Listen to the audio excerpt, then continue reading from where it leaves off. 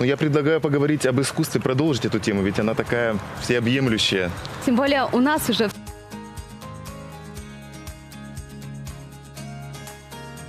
кстати, приехали издалека для того, чтобы рассказ, рассказать об этом искусстве. Музыканты. Ты знаешь, как я трепетно отношусь к музыке, поэтому этих гостей я ждал очень давно. У нас в гостях художественный руководитель Уральского государственного академического русского народного хора Николай Зайцев.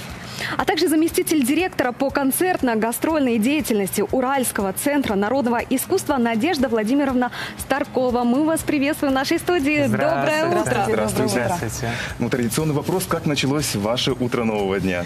Очень хорошо, тем более такая изумительная погода. И я думаю, как же вы начали свою работу в такое прекрасное утро с хорошим, надеюсь, настроением, как и мы. Потому что Крым нас встречает только тепло, как и зритель, так и солнце. Ну, действительно, сегодняшняя погода вдохновляет не только вас, но и нас. Так, Да. ну расскажите о том, как же вас принял Крым. Я знаю, что уже в нескольких городах вы выступили. Да. Как э, сами крымчане вас встречали?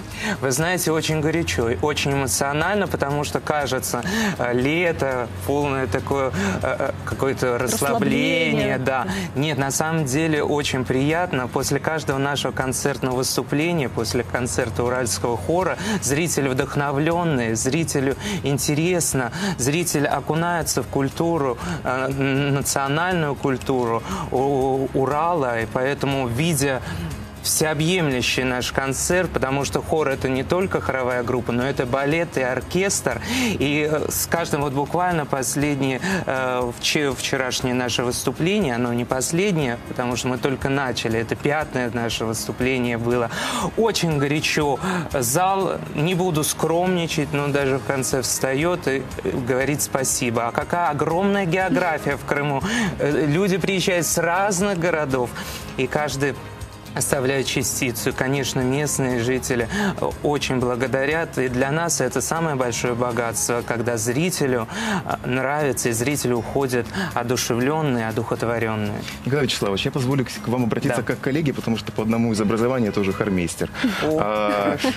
Расскажите про свой хор. Какой у вас состав, сколько у вас человек и немножко по репертуаре. Да, смотрите, у нас э, в этой гастрольной поездке у нас общее число 61 человек. Вот, поэтому много, да, и я говорю, э, по, э, по своей структуре мы хор, о, вообще жанр народного хора, он универсальный. И артист не только поет, но и танцует, и играет, и все это взаимодействие. В современное время он универсальный артист. Конечно, самое наше богатство – это фольклор Урала, танцы, песни и музыка. Конечно, полюбившиеся советские песни, которые были в свое время, не побоюсь этого слова, хитами или шлягерами. Э, Уральская рябинушка, которая до сих пор в странах э, исполняется во множество. И в Китае, и в Корее это является хитом даже сейчас. И э, зрителю, конечно, кто-то вспоминает, кто-то открывает новое. Но программа построена у нас час 30 нон-стопом, э, без антракта и э, взаимодействия в танце, танцы. Конечно, популярные народные песни есть у нас. И, конечно, самое главное, это основа фольклор уральский, который колоритный, и никто другой не исполнит это, кроме уральского хора. Более академический коллектив – это не жанр, это статус, за профессионализм дается и требует э, уже больших других обработок. Но эти обработки сочетаются с современностью, но при этом аккуратное сохранение особенностей традиций. Э, Вот в этом тоже уникальность Уральского народного хора. Наталья Владимировна, ну вот хотела к вам еще обратиться, узнать. Я так понимаю, что гастрольный тур в Крыму завершился, хотя, нет, наверное, неправильно, все только начинается. Все Только только начинается. Действительно, у нас впереди еще большое количество концертов. Буквально завтра у нас концерт в Ялтинском театре в 8 вечера. С удовольствием приглашаем на этот концерт. Историческая площадка, очень красивое, очень атмосферное место. Я думаю, что зритель получит большое удовольствие, посетив это, этот концерт. Третьего мы будем уже абсолютно в другой части полуострова Крым, в Керчи, в Керченском ДК «Кала- К- «Карабел». 4 августа мы будем в Партените, в санатории Крым. 5 у нас Судак, Седьмого центральная площадка Симферополя, Симферопольский музыкальный театр. Всех Всем вечером ждем всех в ждем с удовольствием. Да. да. Восьмого Ну, Евпатория. И 10 у нас Севастополь. Суммарно сколько концертов вы дадите? 14. Я так 14 понимаю, что концертов, да. надо людям торопиться, потому что билеты очень быстро раскупают. Абсолютно верно, абсолютно верно, поэтому билеты лучше приобретать заранее. Да, и мы, конечно, ждем всех, особенно Симферополя. Но красота неописуемых городов и, и изумительная, кстати, студия. Очень хорошая, очень э, яркая. И прохладная. Да, и Это пока, потому что когда да. солнце выйдет, будет довольно жарко. Но знаете, у меня возникла идея, а может быть здесь подхватить фольклор крымских татар, э, русских жителей, украинцев. Вы да? знаете, И у все нас... это смешать в итоге. Вы знаете, у нас есть, э, мы поставили такой номер, но называется он «Народы Урала», потому что Урал богат своими народностями, там более 156 национальностей. У нас есть татары, у нас есть башкиры, марийцы, коми-пермяки, конечно, русские. И все это взаимодействие национальное. Конечно, у нас уральский хор чем уникален, там много, многонациональный коллектив. У меня работают более 10 национальностей, в том числе и украинцы, и белорусы, и лезгины, и грузины. Потому что ну, все это объединяет любовь э, к русскому народному То искусству. есть кто бы ни пришел, он обязательно что-то свое родное услышит. Обязательно, обязательно. Потому что колорит у нас богатый, у нас многообразие искусства, культуры, и уральский хор всегда этим славится. Ну, Я вчера внимательно изучал э, ваше творчество и обратил внимание, что у вас очень молодой состав. Ну, конечно. Да, Мы это не только молодой, но и у нас есть и те, которые уже такие мастодонты. И у нас с нами ездит народная артистка Российской Федерации Светлана Комаричева.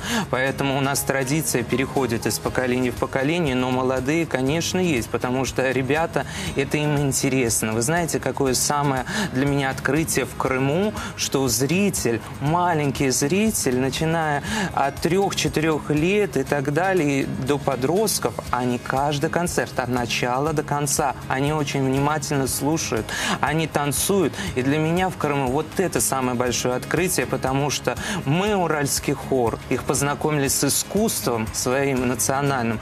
У них это отложится в душе, у них отложится это в памяти.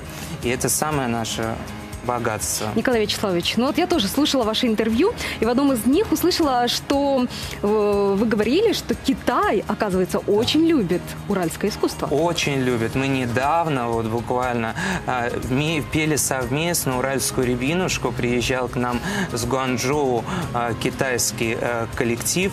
И они очень, они, так скажем, большие фанаты народного искусства и советской песни. И тем более песни, которые родились в уральском хоре, как я уже сказал, «Уральская рябинушка», «Белым снегом», «Свердловский вальс», а, они замечательно вместе с нами исполняют. Они пригласили уральский хор э, в Китае. Мы, конечно, разрабатываем это тоже маршрут взаимодействия, потому что где бы мы ни были, всегда что-то... Вот буквально недавно мы открыли новый континент. Ваш коллектив в Крыму впервые или бывали уже случаи? Случаи бывали. И один из случаев был у нас концерт в городе Судак. Судак – это город побратим Екатеринбурга. И в 2016 году уральский хор уже выступал на площадке этой концертной. Был аншлаг. Я думаю, мы сейчас успехом повторим этот концерт аншлаговый. Но хочется сказать большое спасибо правительству Свердловской области, э, лично губернатору Свердловской области Евгению Владимировичу Куйше- Куй- Куюшеву и министру культуры Свердловской области Светлане Николаевне Чайкиной, потому что без поддержки бы этой, конечно, бы гастрольный э, маршрут уральского хора в Крыму мог бы не состояться.